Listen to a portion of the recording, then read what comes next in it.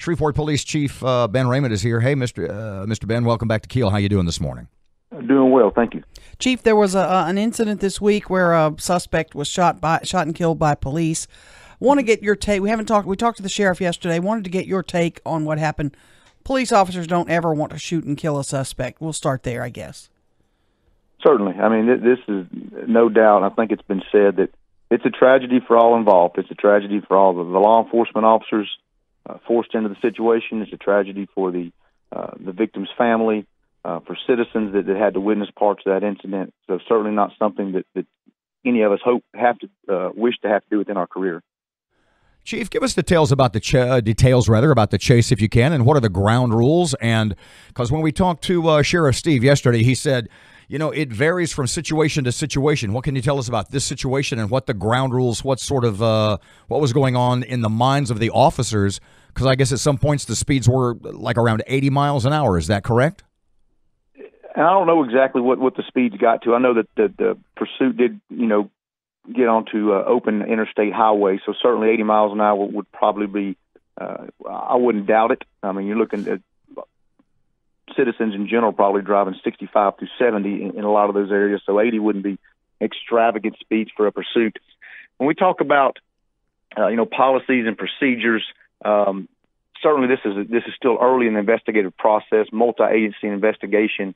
I can tell you just in general when we talk about uh, a fleeing felon, as in this case, Tennessee versus Garner is the the court case that comes to mind um, that gives a lot of precedence and and ultimately what you have to weigh when you determine to continue in a pursuit such as this one or to end the pursuit to disable the vehicle as we ultimately did is what is the biggest threat to the safety of the citizens?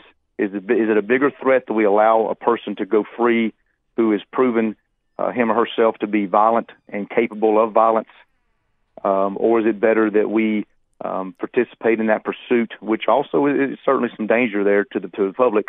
Uh, but does that outweigh the the cost of allowing this person to go free? In this instance, uh, it appears right now that it did, but certainly it'll be a full investigative process, and if it and if it determines otherwise, then we'll take appropriate actions. You know, I, I mentioned we talked with uh, Sheriff Steve yesterday morning, and I think this is something that you and I that we have have mentioned have brought up with you before.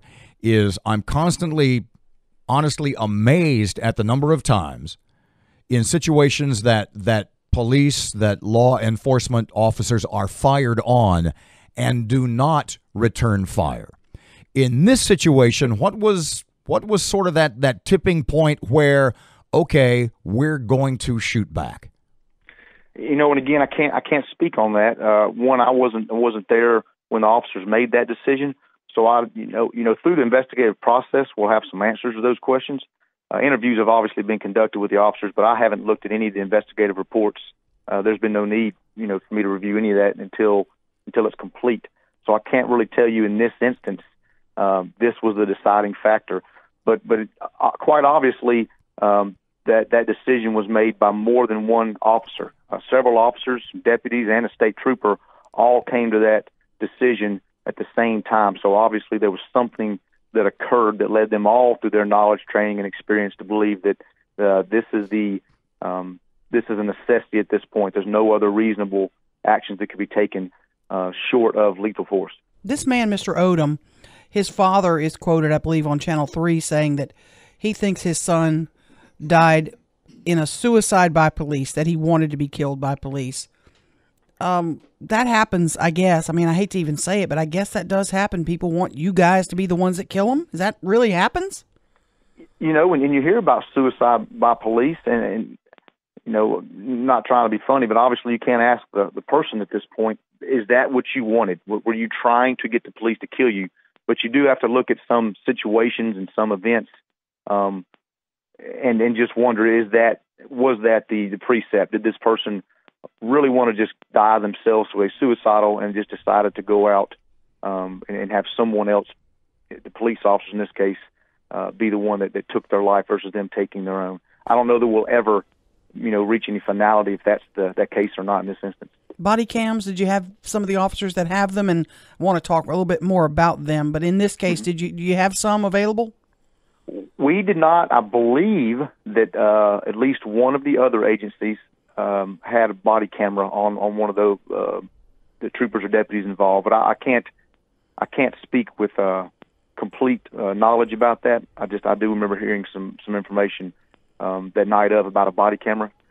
Uh, but none of the Shreveport police officers involved in this instance had body cameras. That came up during the city council this week about equipping our officers with body cameras.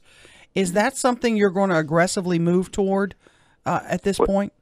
We, we have had body cameras. I, I know last year because I did the budget, uh, and the year before that because I used that uh, you know to assist me last year. We've listed body cameras as what we call a, a unfunded need, which means a, if we had an unlimited amount of resources, we would have asked for this as well.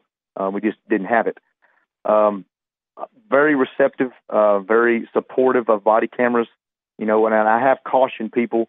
Um, you know, it's not the it's not the answer to everything. I, I'm I'm afraid what what what citizens what they want and what what you get aren't exactly the same. So I think people expect to see the Netflix Netflix film. I've got a perfect overview of everything that occurred. I see the entire situation, and it's all right there in front of me because I have a body camera. In reality, um, a lot of times, you know, body camera is put on a person's rig belt or on their shirt, so there's a lot of movement. And depending on where I'm, I'm positioned during an incident, you know, you may get partial coverage. You may have a complete blockage of the camera. Uh, it may be blurry. It may be lopsided. So again, it's not going to be perfect. But anything that's going to help us to to build the trust and the confidence in the citizens, uh, and, and indicate that hey, we're doing the right things. And if we aren't, then then you know this is this is exactly what happened, and we'll certainly take appropriate action. So I'm supportive of it. But there are some expenses there. The cameras themselves uh, cost several hundred dollars a piece, uh, and then the biggest kind of the unknown is the storage fee. So the number of officers we have dumping all that information into a server, because obviously you wouldn't want the camera if you didn't keep the information at least for a certain amount of time to determine do we need this or not. Uh, that's a lot of storage space, and, and you have to pay for that space. Police Chief Ben Raymond, thanks for your time this morning. We appreciate it. Certainly, yes, ma'am.